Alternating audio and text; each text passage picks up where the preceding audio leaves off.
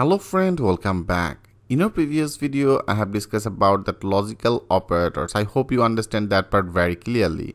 Now in this video, I want to discuss about that equality operator. I have already discussed about that things with you. That will be the equality, okay, equality operator.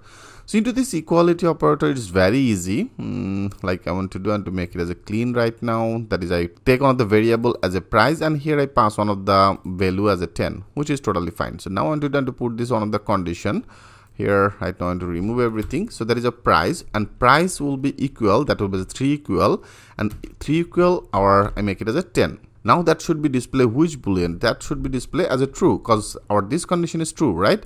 That is our price is 10 so price when it will be equal equal a 10 so now that should be displayed as a true. Click as a save all. And now refresh it. You can see it's now displayed as a true. Great. And also the same that is another operator as i told you before there is a not right? So that is a not. If you want to use it as a not I make it as a not and then equal not equal I make it as a 220 okay now if you click as a save all now if you click as a refresh now you can see it's now also display as a true that means that is our not or equal as a our this 10 for this reason it's now display as a true all right if you want to make it as a um, 10 if you want to make it as a 10 click as a save all now that should be displayed as a false click as a refresh you can see it's now display as a false great. But here also one things a lot of students uh, can become confused it. I show you what exactly the things like here i copy it and then i paste it.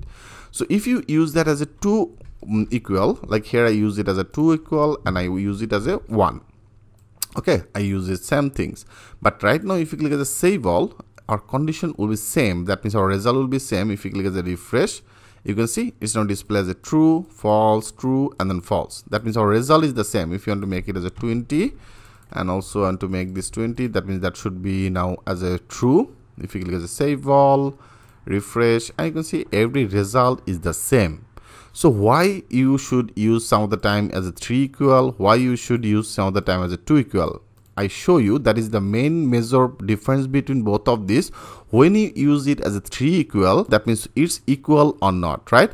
When you use that as a 3 equal it's, it will be checked both of these data type. Like that is one of the data type as a number data type. And you can see that is also our another type. So that is our number data type right? It should be checked both of these. But here when you use that as a double is equal to then that will be not this mm, get any data type whatever the data type it is doesn't matter. If you want to make it as a mm, right now i want to do and to make it as a string value. Okay so that is the not number type.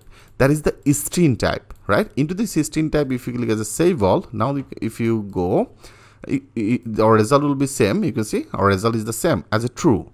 But here when you use that as a triple equal then that will be actually match that should be as a number type here if you put a cursor you can see that is our number type. As before i have already discussed about that things with you. With the type of you can check it right? So if that is our number type and if you now make it as a string value like right now that is one of the string value right? It should be not get this data properly. If you click as a save all now that should be displayed as a false. Click as a refresh you can see.